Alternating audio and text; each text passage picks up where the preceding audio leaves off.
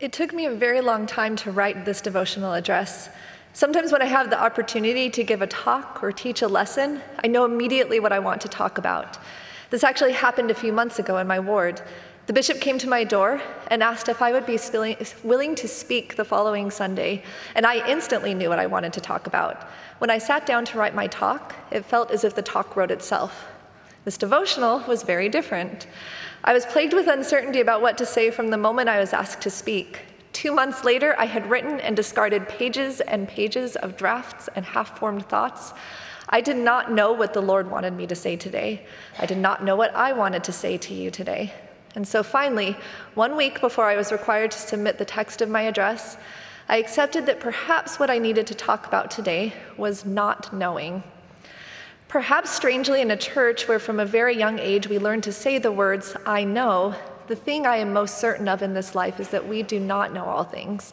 In fact, in the grand scale of truth, it's quite possible that statistically speaking, we don't know anything.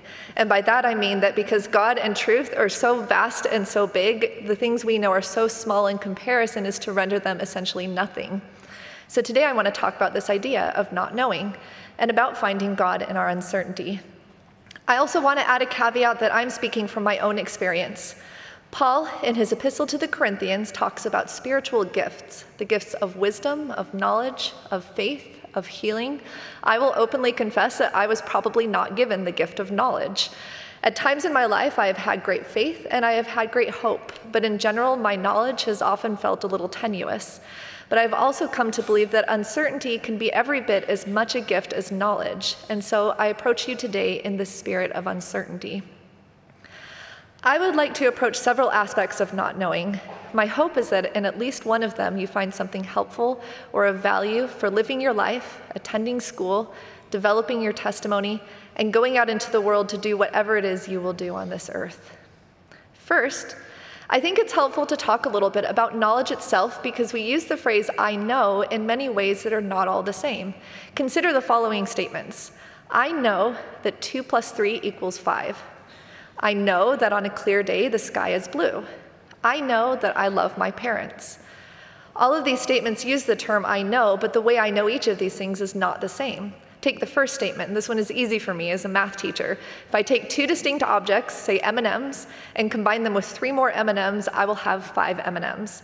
Although I've come to recognize that truth in mathematics is far more complex than we usually imagine, it's nevertheless very difficult to dispute the statement that 2 plus 3 equals 5. But now consider the second statement, which on the surface seems equally indisputable. I believe that all of you will agree with me that on a clear day, the sky is blue. But I do not know that when we look at the sky, we see the same thing. And if a person is unable to see the sky at all, what does it mean that the sky is blue? Scientifically, we can speak about light and wavelengths, but this does not reflect my experience of seeing blue. In fact, I recently learned that ancient languages didn't even have a word for blue, and that in lacking a word to describe the color, people who spoke these languages may have been incapable of even seeing the color blue. To explore this possibility, researcher Guy Deutscher decided to do what countless researcher parents of children have done and experiment on his own child. When she was very young, he was careful to never describe the color of the sky to her. Finally, one day he asked her to look up and describe the color, but she had no idea what to say. The sky at first appeared completely colorless to her. This complicates my statement that the sky is blue. Finally, when I consider the last statement, that I know I love my parents, I have to concede that there is no objective way to measure this. In fact, I have failed embarrassingly on a few simple measures of love, like last year when my dad called me on his birthday and I didn't even say happy birthday to him. I'm still sorry about that, Dad.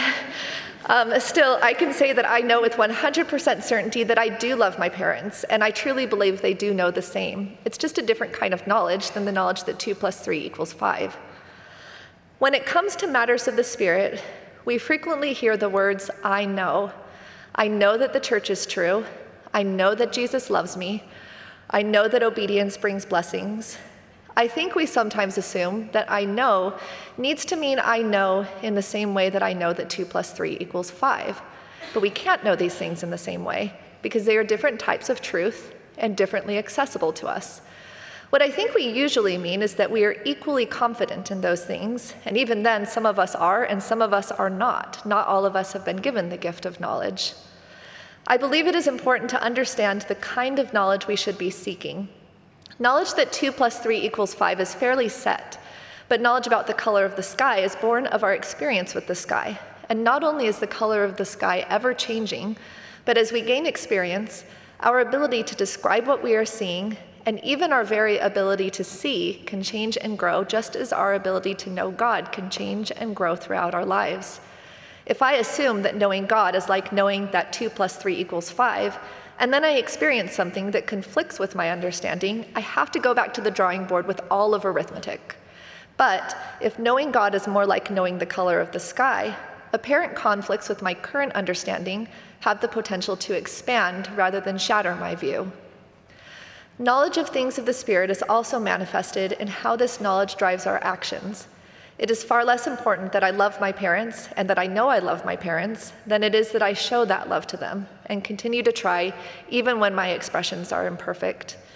Knowledge that the church is true, or God lives, or Jesus loves us is less important than what our faith and hope compel us to do Knowledge of God's love is important, but how I take that love and allow it to work change in myself and in the world around me, even when my efforts are imperfect, is far more important. Knowledge that is complete and certain can also be limiting and quite honestly not all that interesting. A living knowledge that changes, grows, adapts, and motivates us to action is a knowledge that embraces states of uncertainty and not knowing, because these states lead us towards change and growth.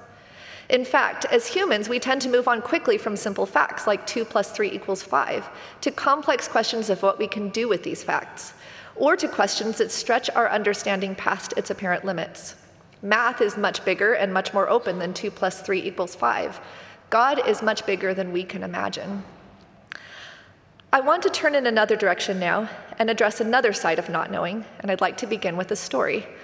One day, while I was working on this devotional address at home with my four year old daughter playing on the couch next to me, our dog Jin barked at the back door to be let into the house. As you can see in this picture, he's a large dog and he's got a large bark. Can you let Jin inside? I asked my daughter, because what are children for except to do the small tasks that you don't feel like doing yourself? But instead of jumping up happily to help, my daughter informed me Jin did not bark. Just a moment. Well, I told her, I just heard him bark. Jin is not outside, she responded.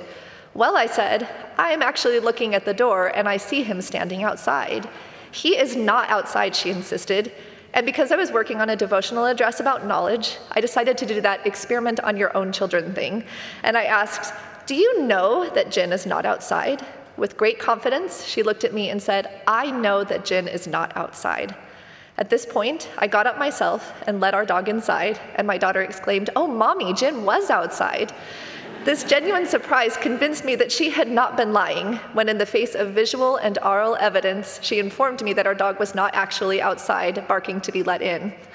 I believe that she really knew that the dog was not outside because she wanted him to be not outside, because it was inconvenient for her if he was outside, because she would then have to stop playing and go let him in.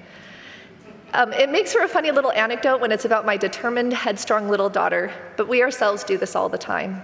When we know something, we are likely to hold on to that knowledge as tightly as we can, even when we are mistaken. And we usually don't realize we are doing this. Of course, we don't, because we know. Our human minds are built to make sense of the world around us, to categorize and evaluate and put our experiences and observations into simple boxes the ability to create order and organization out of the chaos that surrounds us is incredibly important to our survival and well being. But a consequence of this well developed human ability is that we all think we know and understand far more than we actually do. One of my favorite stories from the history of mathematics is the story of the parallel postulate.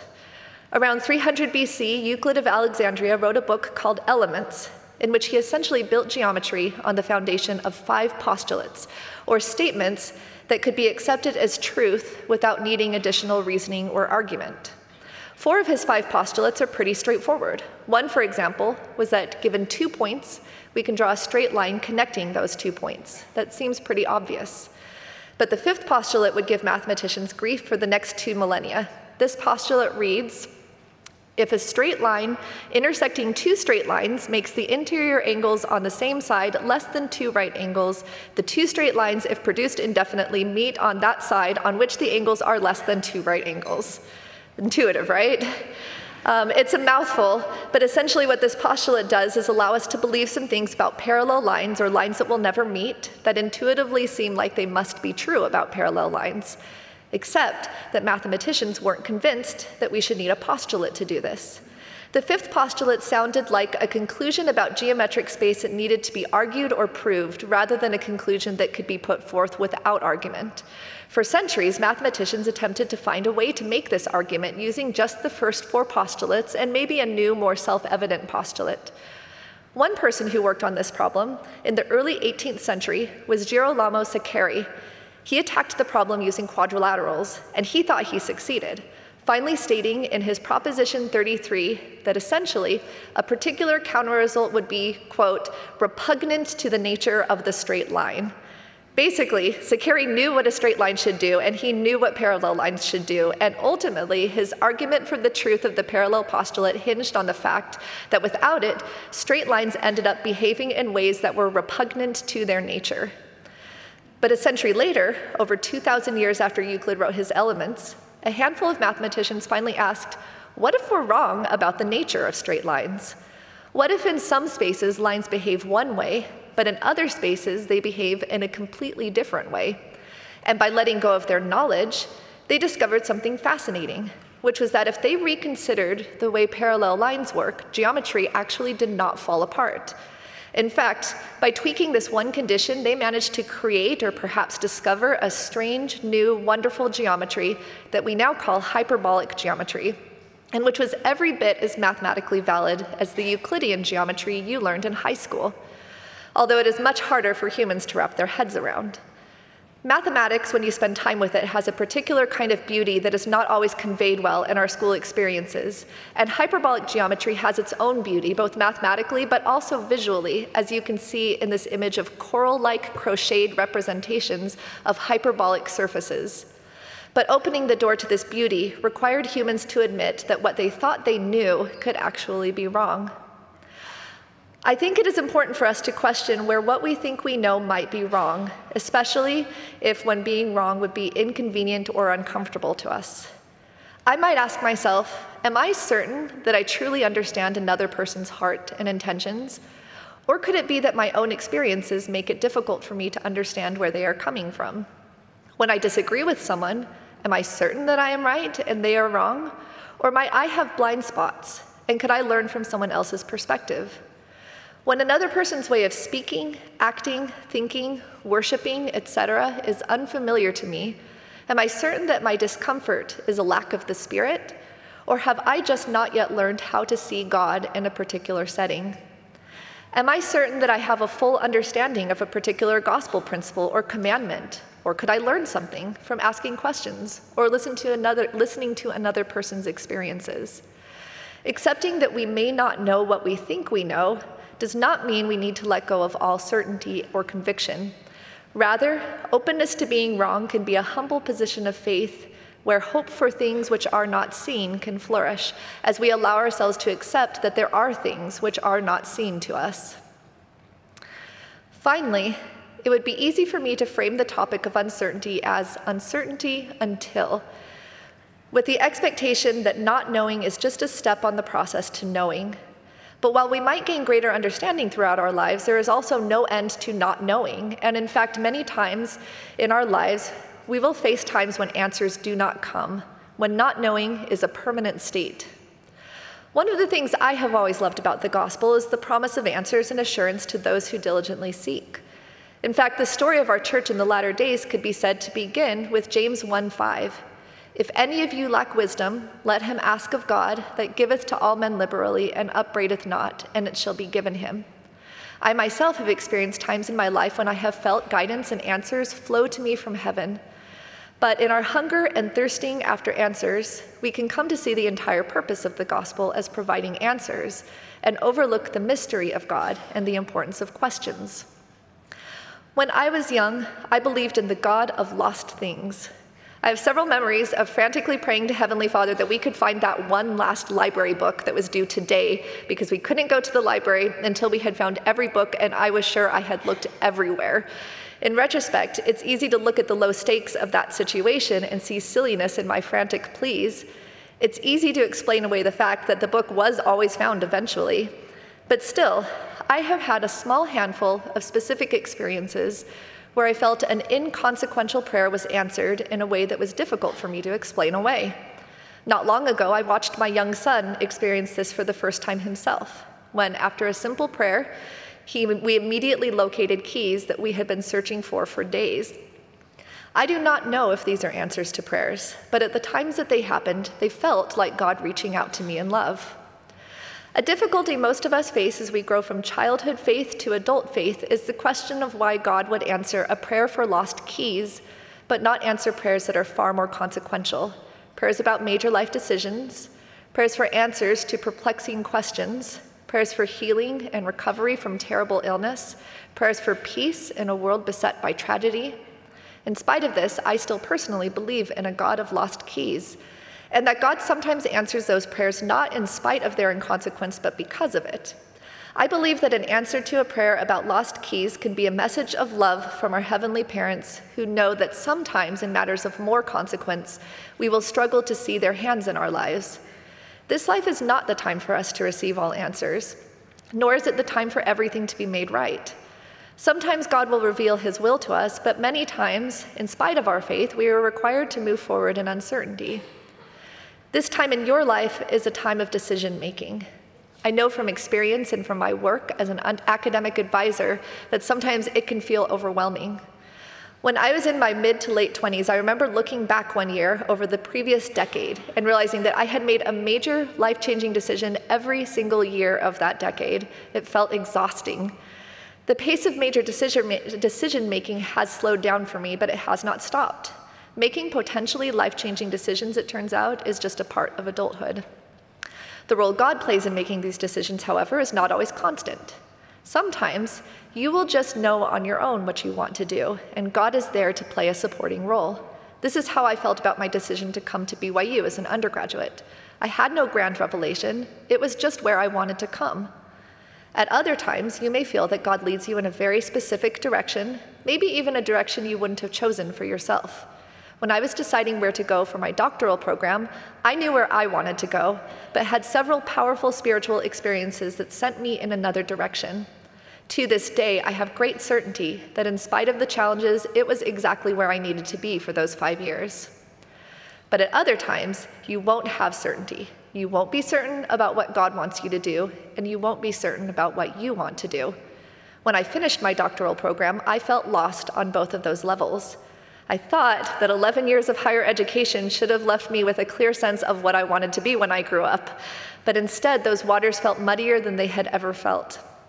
I thought that by that point in my life, I should feel more confident that I could hear and know the will of the Lord, but right then it seemed that the heavens were silent. In that moment, the only thing I could do was move forward. I wanted to move forward along the right path, but the only thing I could do at that time was move forward along a path. I wanted to know that everything was going to work out for the best, but that was not something I could know. Embracing uncertainty is hard, but at some point in our lives, it is the only thing we can do. I have long loved the story of the brother of Jared. He experienced plenty of guidance from the Lord as he and his family and friends were led toward the promised land, but the part of the story I love most is when the Lord made him answer his own question. He had followed the Lord's instructions to build barges, but there is a problem. The vessels were sealed and windowless, as a result, and as a result, there was no light within the vessels. When the brother of Jared approached the Lord, he appeared to expect an answer. O Lord, he said, I have done even as thou hast commanded me, and I have prepared the vessels for my people. And behold, there is no light in them. Behold, O Lord, wilt thou suffer that we shall cross this great water in darkness? But instead of providing the brother of Jared with a solution, the Lord tells him what he probably already knew you can't make windows, and you can't have fire. And then he turns it back to the brother of Jared and essentially asks, What do you think? Most of the time, when I truly don't know what to do, I would just rather have God tell me what to do because I'm pretty sure I might make a mess of things and that God could keep me from making a mess of things.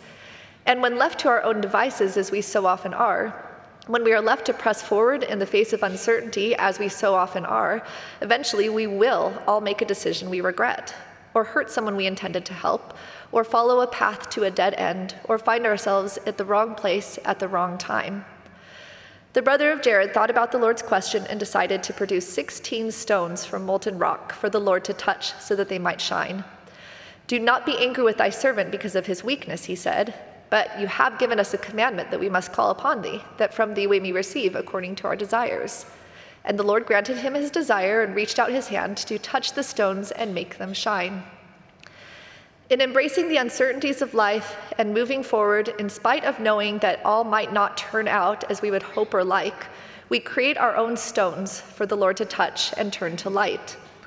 Maybe something good will happen when we move forward in darkness. Maybe something bad will happen Probably we'll get a little bit of both. But God can touch all of those stones. If we make our decision and offer our decision up to the Lord, He can turn all our stones to light. He can give us opportunities to do good, build relationships, find faith, change, and grow, even with the stoniest of stones that we offer Him. As a teacher, I have spent a lot of time carefully planning lessons. I articulate learning goals, create assignments and activities and discussion questions aimed at meeting those learning goals, anticipate student thinking and how I might respond to that student thinking. But my best lessons are often those that invite an element of uncertainty, where I don't know exactly what students will say or how they will approach a particular problem, and they don't either. And the truly transcendent lessons, the ones where I come home from work and can't stop talking to my husband about the amazing things that happened in class, are always the ones where something happened that I could not plan or predict. It is at the cusp of uncertainty that the real magic happens. God, as the master teacher, would certainly allow for that uncertainty in his lesson plans for our lives. And it is as we let go of our need for knowledge and certainty that God can step into our lives in his expansiveness and work true miracles. A few weeks ago, my husband and I took a trip to Boston. There are many beautiful old churches in Boston, and so on Sunday morning we decided to take advantage of the opportunity, and we attended a church service in the Old South Church downtown. The service, the rituals, the music were all unfamiliar to me, and stepping outside of the familiar helped me to pay a different kind of attention than I often do in my familiar, comfortable Sunday church experiences. One hymn particularly struck me with its psalm like sentiment. It opened with an expression of uncertainty. Oh God, why do you feel so far from me? And as we sang through the four verses, I found myself expecting a turning point that never came, expecting the hymn to conclude with something along the lines of God, you may feel far from me, but I know you are there. Instead, each verse continued its questioning Why is there pain and suffering in the world? Is God even there? Does God care? There was no resolution, only questions, and for days I could not stop thinking about this hymn. For all the scriptures and talks that exist about certainty and knowledge, we can miss the mystery and wonder that come at the edges of our certainty where we do not know. Nephi confessed, I know that God loveth his children, nevertheless, I do not know the meaning of all things. In Alma, we are reminded that faith is not to have a perfect knowledge of things and that there are many mysteries which are kept, that no one knoweth them save God himself. Jacob expressed his wonder at the mystery of God. Behold, great and marvelous are the works of the Lord. How unsearchable are the depths of the mysteries of him, and it is impossible that man should find out all his ways. To me, it is a beautiful mystery that I can fail to fully comprehend God but that nevertheless, in my own incomprehension, I can feel that I have some understanding of God's infinite love for me. I am not always comfortable with uncertainty, but certainty can be a constraint. When we're able to make space for uncertainty in our lives and for the possibility of things that lie beyond our comprehension, we can come closer to God, who knows us intimately, even if in our human state we are prevented from fully knowing God as Paul said so beautifully, for now we see through a glass darkly, but then face to face. Now I know in part, but then I shall, shall I know even as also I am known. In this life, we know only in part. And in fact, the more I learn, the more I see that I do not know. But I also believe that God knows us completely, that in our uncertainty, we can accept God's love for us as certain and constant. We may not know how God will turn our stones to light, but we can have hope that God will turn our stones to light. In the name of Jesus Christ, amen.